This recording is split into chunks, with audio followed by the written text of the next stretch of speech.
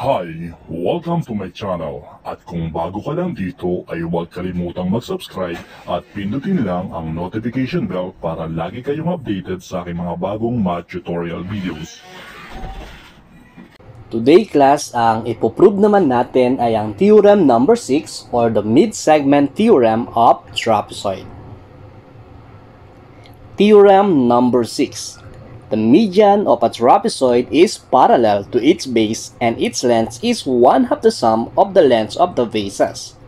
Given trapezoid MINS with the median line segment PR. Prove that line segment PR is parallel to line segment IN and line segment PR is parallel to line segment MS and line segment PR is equal to the one half of the sum of line segment MS and line segment IN. So, sa number 1 class, kokopyahin lang natin yung given. Trapezoid MINS with median line segment PR. Sa number 2 naman, ang nakalagay sa ating statement, draw IS with P. So, ito class yung uh, line segment IS and then P as its midpoint. So, ang pwede nating class ilagay dito sa reason ay yung line postulate. So, ano ba class yung line postulate? Sa line postulate, through any two points, there is exactly one line. Next, number 3, line segment PP is equal to 1 half of line segment MS and line segment TP is parallel to line segment MS. At kung mapapansin natin class na itong line segment TP natin ay mid-segment ng nabuong triangle MIS. So basically class, papasok ito sa theorem number 5 or midline theorem of triangle. Next, number 4. So, sa number 4 class, meron na tayo nakalagay sa statement. Meron na rin tayo nakalagay sa ating reason. So, line segment PR is equal to 1 half of line segment IN and line segment PR is parallel to line segment IN. So, yung naging reason naman natin dito is theorem number 5 or midline theorem. So, mapapansin natin class na halos parehas lang yung ating number 3 at number 4. So, sa number 3 class, yung mid-segment natin is uh, line segment TP doon sa triangle MIS. Dito naman class, sa number 4, yung line segment PR naman yung ating naging uh, mid-segment doon naman sa triangle INS.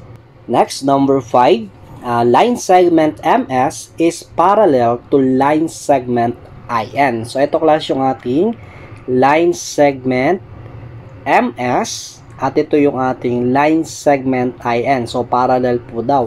So, pwede natin class ilagay dito sa reason yung definition ng trapezoid. So, definition ng trapezoid. Trapezoid is a quadrilateral with exactly one pair of opposite sides are congruent.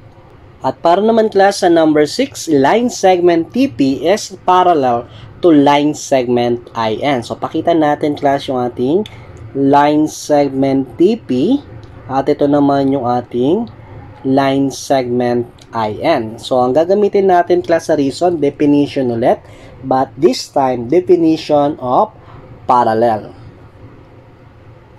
So lines on a plane that never met and they are always same distance apart. Next, number 7. So TP and PR are both parallel to TP, parallel to IN, thus T, P, and R are collinear. So TP and PR class are either parallel or the same line. Or pwede pa rin natin ditong gamitin class yung definition of parallel. Next, number 8. So, sa number 8, line segment TR is equal to the sum of line segment TP and line segment PR. So, katulad lang class nung ginawa natin sa midline theorem.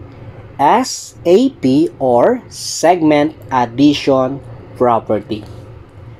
Next, number 9. So, sa number 9, nakalagay class sa reason ay substitution. So, hanap lang tayo class ng pwede nating gamitan ng substitution tulad class ng uh, line segment TR is equal to 1 half of line segment MS plus 1 half of line segment IN.